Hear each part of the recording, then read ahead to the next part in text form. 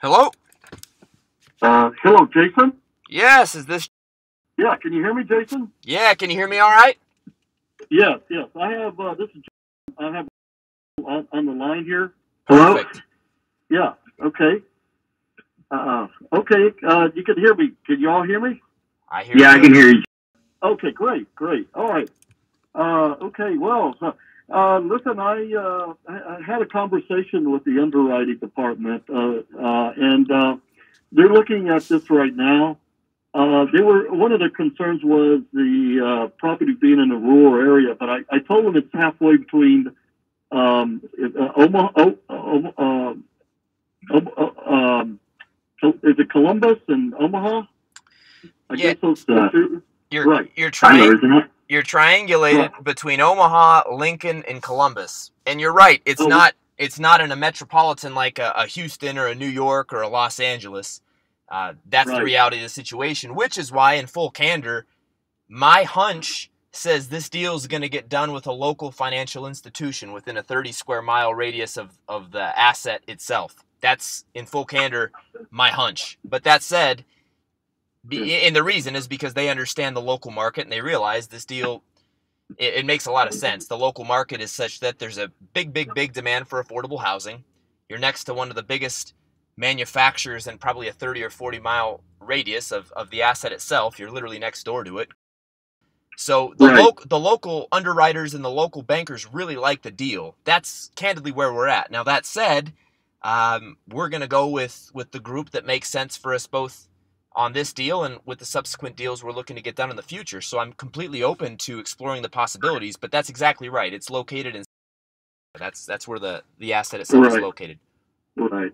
Right. Well, they, they like the I mean they like the net uh, potential. I mean net income. Uh, and um, I, I'm going to get back with you on this, but uh, I want to ask you a question. I don't I don't think we'll I don't I'm not sure at this point if we're going to be able to match the uh, the terms and rates that um, the uh, the the seller is going to get offer you.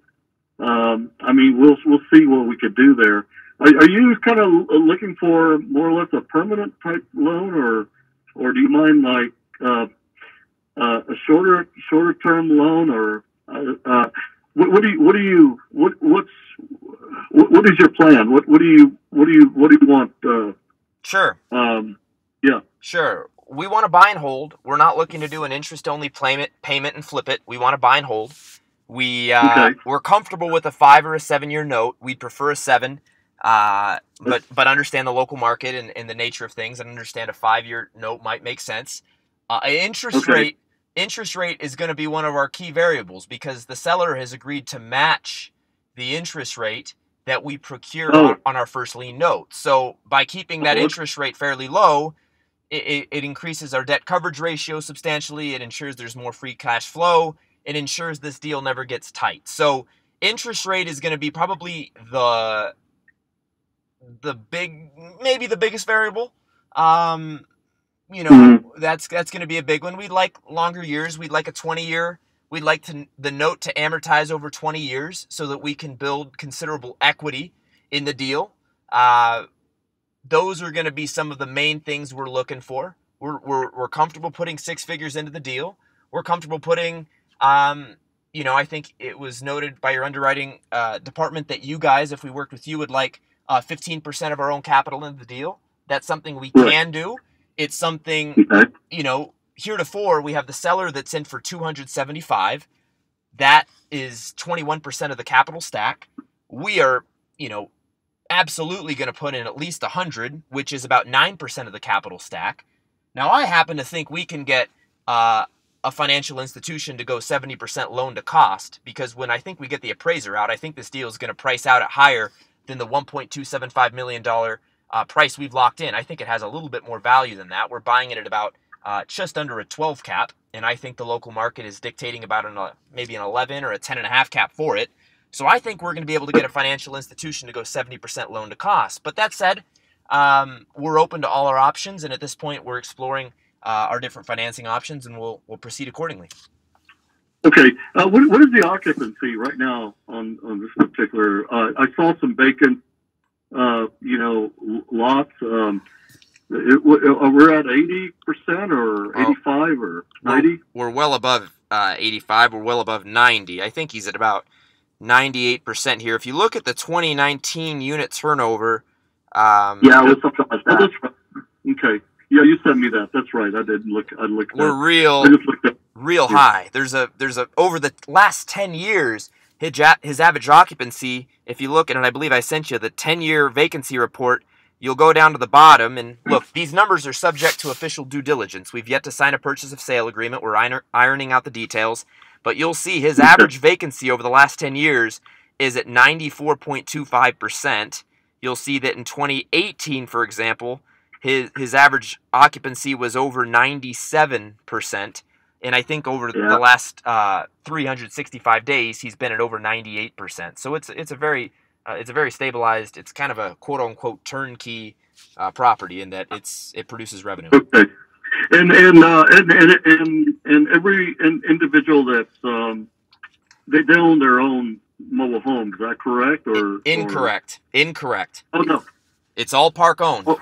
It's all park owned. Oh, it's all parked owned. Oh, I see. That's why you're Okay. turning. That's why you're turning 205k off of 33 lots. There's no way in, Right, in right. Nebraska you Yeah. would turn over 200k in revenue off of 33 No. lots if they were all tenant-owned homes. I see. Okay, I see. Yeah, Yep. that that sounds good. Uh, and, and and they have their own. Uh, I, I think I noticed on the aerial they have their own uh, septic plant uh, facility. I mean, septic plant. It looks. I, I think I saw something like that. It's Is that correct? septic Yeah. plant is kind of mixing terms because you have treatment plants, which is a private sewer Treatment. system that requires a lot of maintenance. This doesn't have a treatment plant; it has a septic tanks. I think there are, oh, gosh, how many septic tanks are there? I'm not exactly certain, but when you're talking Okay. private utilities, septic and, and a treatment plant is is not the same animal. But it's not city sewer. Oh. It's not city sewer. So Oh. you're right. You're right. Okay, it, it is. Okay, it is septic. I, I thought it was a treatment plant. No, uh, it's because septic. I'm mobile. I'm I'm familiar. Sometimes a mobile home park has their own treatment facility, or or. Um, okay, great. Um, okay, I think I uh, I, I have a, a, a little bit, you know, enough questions there. Uh, I just uh, I'm I'm um, I'll, I'll tell you what. I'll get back with you. I'll, I'll it's you know it's Friday. Uh, I, I'll I'll I'll, uh, I'll talk to them and see what what they what we have uh, what what they have to offer. Um, and um, and and your credit is, is pretty good. I mean, your you mentioned your credit's really really good. Uh, Yeah. it's, um, Yeah, I'm over, over well over 700, no matter what of the uh, whichever the reports you're Okay. using. Now, candidly, and I can send you. I think you've seen our executive summary. Uh, this purchase will probably be made ultimately under the corporation, which has uh, a plethora of different individuals that will have a partial equity stake in the business. Now, I'm the principal. I'm going to be the guy owning the 51%. So, depending on how things iron out, look, I believe in the deal enough to sign on it. I'll put it that way. And I'm comfortable doing so, despite the fact that some of my advisors are telling me, Jason, you can get away without signing. Um, but we want to get the deal done, so we're not going to get uh, we're not going to get nitpicky there. But yeah, there there's uh, there's a strong financial history regarding the individuals on the team, and, and myself included. There is uh, what else could I say? There's of course going to be some of our own capital that's going to be put in, on top of the fact that the seller is is financing 21% of the deal. So we're not asking we're not exactly asking a financial institution to over leverage themselves. At the most, we're going to get 71% uh, loan to cost, which, you know, financial institutions put that 65 to 75% LTV on their website that they can do. So we're not exactly asking for the farm here. The debt coverage ratio uh, in our base case is over 125%. And that's that's a pretty conservative, that's with pretty conservative base case number uh, expenses. We're probably at about 135% when you really, uh, when you really actually, you know, take out the real numbers. conservative nature of it. Yeah, Right. this deal makes money. Okay, okay, sounds good. Sounds like a pretty good uh, um, investment. Uh, you know, the, the size and everything. It looks looks pretty good. All right. Well, um, I I think if I have any more questions, I'll get back with. you. Let me make sure we can do this deal. Um, and uh, you know, uh, with what you're requesting, I'll I'll, I'll get back with you uh, this uh, you know coming week. Uh, so, all right. Um, okay. Uh, I, I'll be in touch. Anything else? Uh, uh, I'll, I'll talk to you a little later. Okay. And let me ask you real quickly, since we're here, and we'll make this persnickety. Yeah. I know it's Friday and everybody's looking to get out, but I'll just Yeah. make it be known, as, as I stated before, um, if this is going to be on the the hard hard money continuum or, or a private investment continuum, I know what that generally means. It means your interest uh, rate is, is Right. seven, eight, nine percent. Look, I'll, I'll just be straight with you, and maybe this means the conversation dies here. And, and if it does, I I understand everybody's in, in the everybody's in business to to do what they need to do, and, and everybody has their own niche. But uh, we really Yeah. we really won't consider um, doing a deal with an interest rate over candidly six and a half percent. If it's over six and a half percent, and that might be a deal Mhm. breaker for you guys, and if it is, I understand. But given the fact that the seller's in for twenty one percent and that he's going to match the first lien note, as I shared with you before, that's going to be a key variable we look at. So. Look, we're not trying to nickel and dime you. We want to get this deal done, and we want to make sure everybody's comfortable. But if we're talking about a first lien note at seven or seven and a half or eight percent, um, it's Mhm. just not going to make sense. So I just want to make that known. And if that's something your underwriters come back to you and say, "Hey, we like it, but but we don't have enough comfort with the local market or this or that or, or whatever," uh, just know that that that's where we stand. That's our our quote unquote BATNA. Is we really won't. Uh, we like 20 year amortization. We're okay with a five year note. We'd prefer seven. Uh, and we won't go higher than a six and a half percent. And we're really confident that the local banks are going to definitely explore that. So that's where we stand. So I just want to be straight and save everybody time and let you know that's where that's where we're dancing. And if you guys want to come to the party and dance with us, we'd love to continue the conversation and, and proceed. Thank you for your honesty. Yep. Okay. Yep. Uh, Cut right all to it. Okay. Sounds good. All right. Well, thank you very much. Um, all right. You have a great weekend then. Okay. Take All care. Bye bye. Right.